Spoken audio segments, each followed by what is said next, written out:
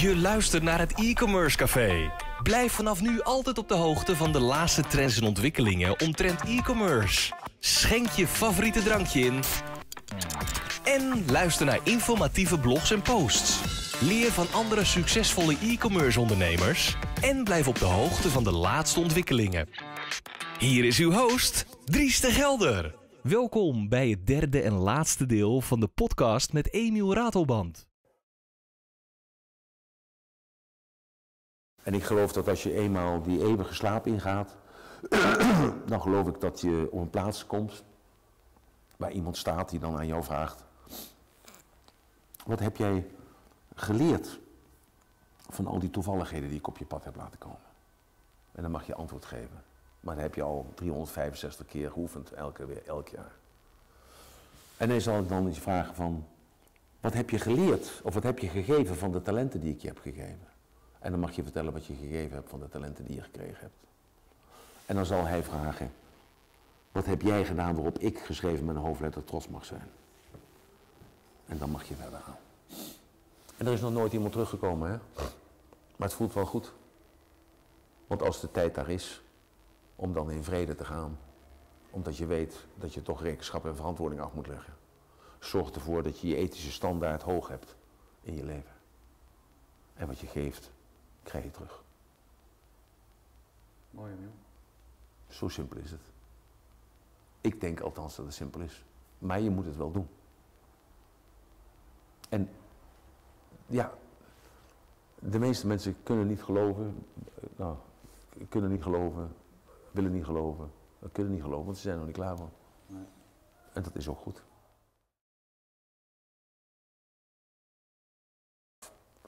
Maar eigenlijk, eh, onze aandeelhouders willen dat niet. De raad van bestuur wil het, wil het eigenlijk, maar onze aandeelhouders willen het niet. Dus ja, eh, we moeten nog één kans maken om die eh Philips System om die naar boven te halen, om die naar winst te maken. ik zei, nou, ja oké, dat kan. En wat wilt u dan? Nou, ik, ik zie dat zo en zo. Ik zeg, nou, ik zeg, dat wil ik wel doen voor u, meneer Timmer. Hij zegt, wat gaat het kosten? Ik zeg, nou, ik zeg, ehm no Q. U heeft nu een verlies van 18 miljoen.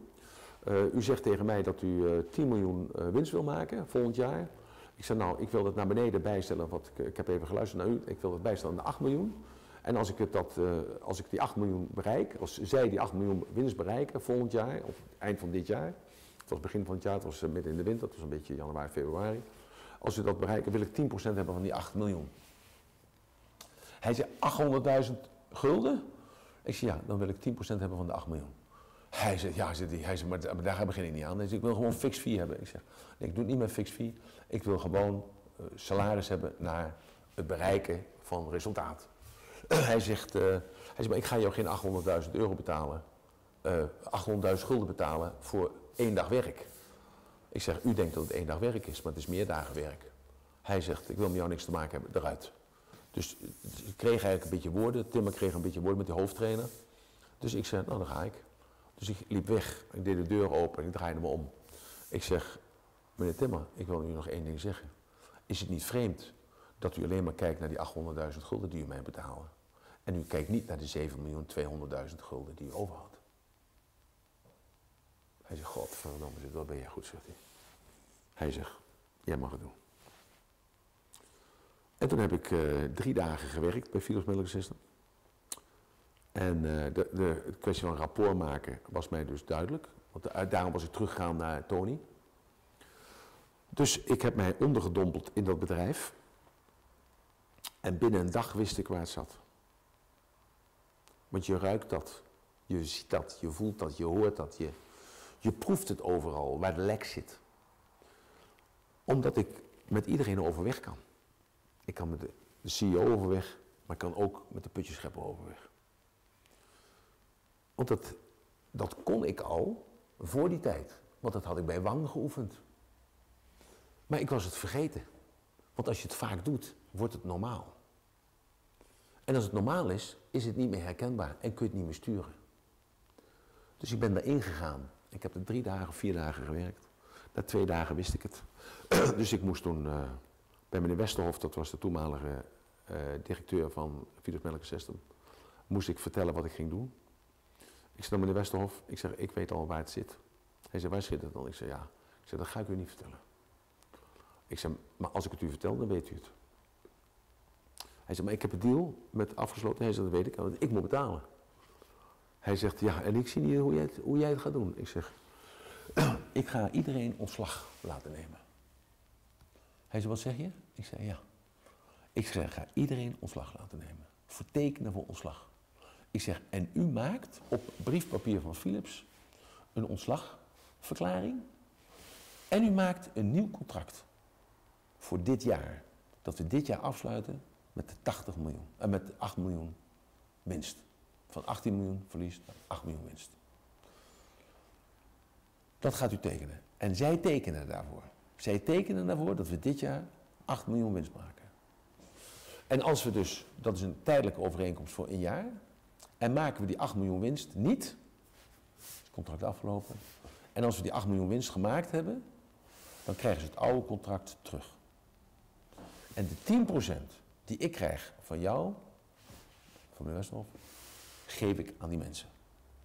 Dat, dat komt in dat contract te staan. Dat tijdelijk contract te staan. Hij zei, je bent hartstikke gek. Ik zei, nee, maar gewoon hartstikke goed.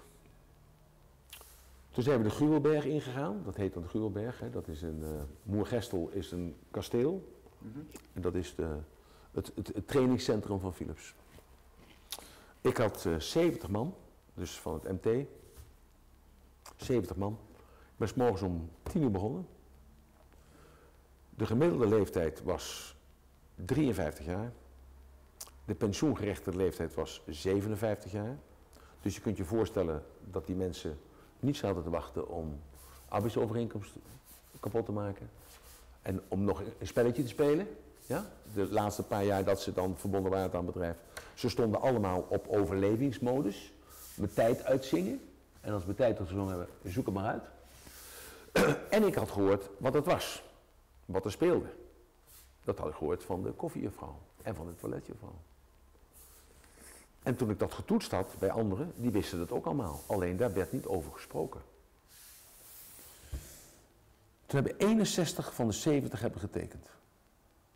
61 van de 70 hebben getekend. S'morgens om 3 uur. dus dat was dus hoeveel uur verder? 16 uur, 17 uur verder. Hebben 61 van de 70 getekend. Die 9 die niet getekend hebben, waren de oorzaak. Waren de oorzaak. Die, ene, die alle 70 wisten want ik heb het verhaal verteld zoals het was. Wat niet bespreekbaar mocht worden. Ik heb het verhaal verteld. En ze waren, die 61 waren zo blij dat er nu iets gebeurde aan deze onrechtvaardigheid die al jaren speelde, maar die eigenlijk gewoon gevonden waren, hebben 61 getekend. Ontslag genomen en een nieuw contract getekend. Die andere negen? Die negen man hebben geweigerd om te tekenen. De volgende dag had ik het NVNV, het CNV, eh, de ondernemingsraad. Ik had iedereen op mijn dak. Iedereen zou mij een proces aandoen. Want dit was niet legaal, dit kon niet. Je kon maar niet zo'n ontslag voor tekenen eh, voor jezelf onder dwang en dit en dat is dus zo. Die negen man waren binnen drie weken weg. Want die 61 maakte die het leven zo zuur van die negen man. En die negen man die zaten precies op die plaatsen waar de lek was. Ik kan het niet vertellen, want de namen zijn bekend. Ik kan het niet vertellen. Dus, maar dat was daar wel. Maar kan je dat zo als, als het bandje uit is, kan ik je de naam vertellen. De namen vertellen, waren twee mannen. en die andere zeven waren hun dus verlengde, die zorgden daarvoor. Dus die negen waren binnen drie weken weg. En, en ze wisten dus dat ze 10% zouden krijgen. Dus die 10% voor mij kregen zij. Dus die 10%, dus die 800.000 euro en nog wat anders, want ze hadden uiteindelijk hebben ze 9 miljoen winst gemaakt. Dus ze kregen 900.000 euro, hebben ze verdeeld aan die 61 man. En toen kreeg ik de rest.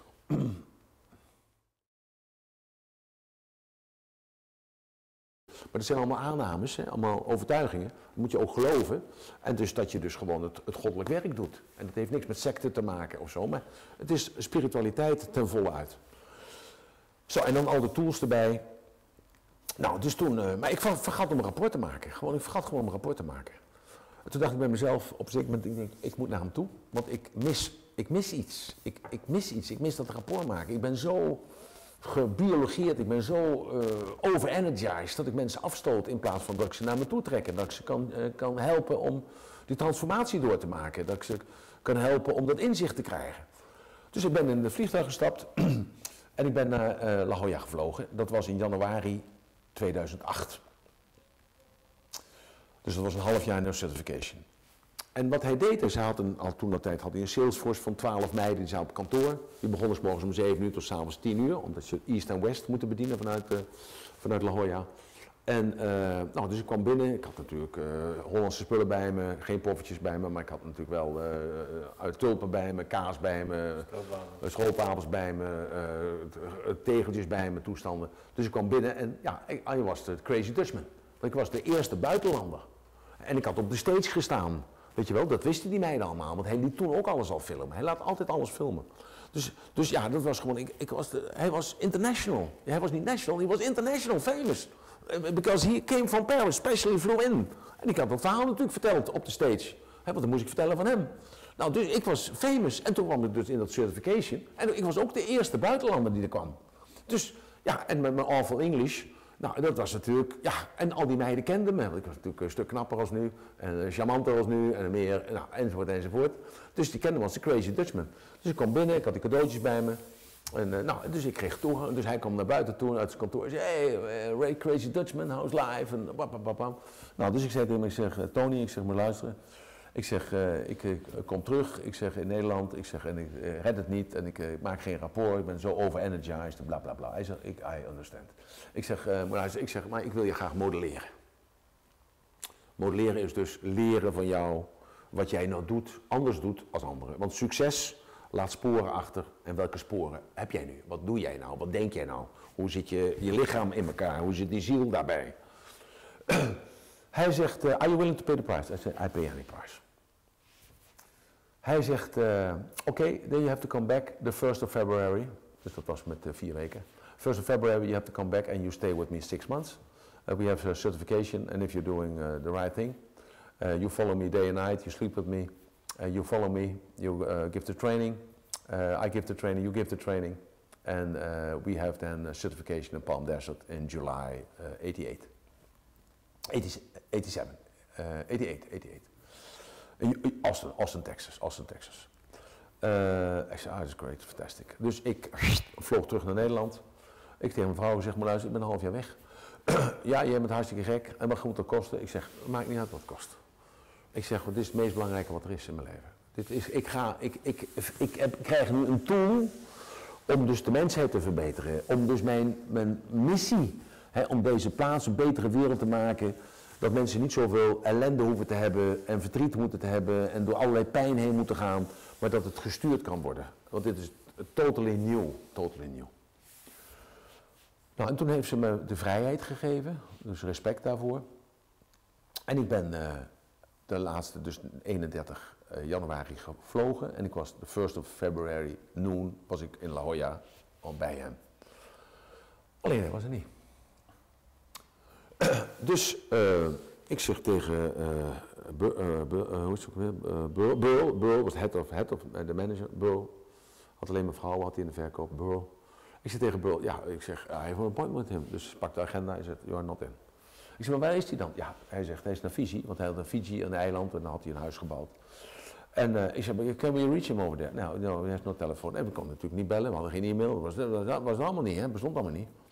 En uh, ik zei, nou, what the fuck is going on? Especially, come on. Dus ik was even, even zagrijnig natuurlijk. Of natuurlijk, ik was zagrijnig. Ik denk, god, ik moet naar huis. En mijn vrouw toch gelijk gekregen, zie je wel, ze houden je voor de gek. En toen dacht ik in één keer bij mezelf, het maakt niet uit wat je overkomt, gaat erom wat doe je ermee. Dus ook hier zit iets positiefs in. Misschien moet ik wat leren, of misschien moet ik wat afstand van iets nemen, of misschien moet ik gewoon mijn focus vasthouden, of misschien moet ik, nou ja, wat het ook is, maakt niet uit, ik wacht op hem. Dus ik zei tegen Burl, ik zeg maar, oké, I'm waiting for him. En ze zegt, ja, ik weet niet wanneer hij terugkomt. Ik zeg, wanneer is de first seminar? Het uh, 5th of May of this year. En het was de 1 februari, dus het was februari, maart, april. Dat waren drie maanden.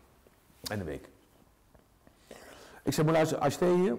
I will rent an apartment. She said, okay, I, I can help you with uh, finding an apartment. And uh, okay, you can visit me always because I'm staying over here. I'm from uh, Salt Lake City and I'm staying here to do the sales. And uh, she's from uh, Columbus and she's from there. So we are one big family. All over. Ze waren allemaal adepten van hem eigenlijk als het ware. Maar ze werden wel betaald voor de verkoop. Uh, ik zeg maar luister, ik zeg, but uh, I want to have one thing. and uh, I want to have access to the library. I said, oké. Okay. En de library had hij me laten zien, in januari had me laten zien dat hij, daar was de bibliotheek. En dat was dus een, een, een soort ruimte zoals dit, maar dat stond vol met boeken, vol met tapes en vol met audiocassettes. En ik keek uit over uh, de ocean. Zo. Uh, ik zei, well, I want to have access to the library. I said, of course, you can do that. You can uh, listen and you can see whatever you like, and you can read whatever you like, but you cannot take everything with you. You cannot take anything with you to the apartment. You have to stay here. I said, okay, I will be there at 7 o'clock in the morning. And I will stay till 11 o'clock at night time, 10 o'clock, 10 o'clock, 11 o'clock.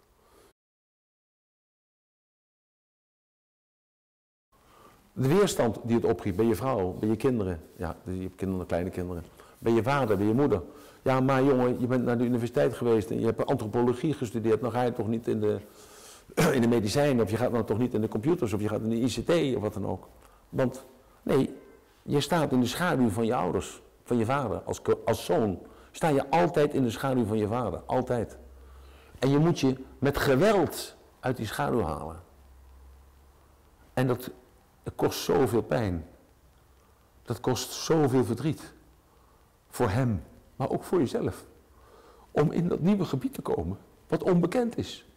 En als je dan in dat nieuwe gebied gekomen bent, dan kijk je terug en dan zie je het nog niet. En als je dan zelf kinderen hebt gekregen, en die kinderen worden iets groter, en dan gebeurt je als vader gebeurt hetzelfde. En dan pas begrijp je je verhaal. Dan pas zie je wat voor verdriet je me aangedaan hebt. Maar dat is gewoon de natuurwet. En zo is het elke moment is loskomen van het vertrouwde. En elke keer moet je losscheuren. En elke keer is het pijn. En elke keer is het weerstand. Elke keer is het onbegrepen. En elke keer moet je dat doen. Want de geest is uit de fles. En als je eenmaal de geest uit de fles gehaald hebt, kun je hem niet meer terugstoppen. Dat is veranderen. Dat is ontwikkeling. En ontwikkeling, verandering gaat vanzelf. Maar de ontwikkeling is een proces. En dat proces, als je dat kunt sturen, dan kun je ervan genieten. Dan geniet je van het wikkel afnemen. En dat is de enige weg om geluk te ervaren. En al die momenten, ja, dat zijn momenten. Maar dit moment van die ontwikkeling, naar die pijn, naar dat verdriet, naar die rouw, naar die ellende, naar dat afscheid, naar, naar weer weten van, oké, even, dan, dan val ik eraf naar beneden en waar kom ik terecht? Ik weet het niet waar ik terecht kom, ik, ik geloof dat het goed komt. Huppakee, en dan ga je dan. Dat is ontwikkeling. En dat is het doel van het leven.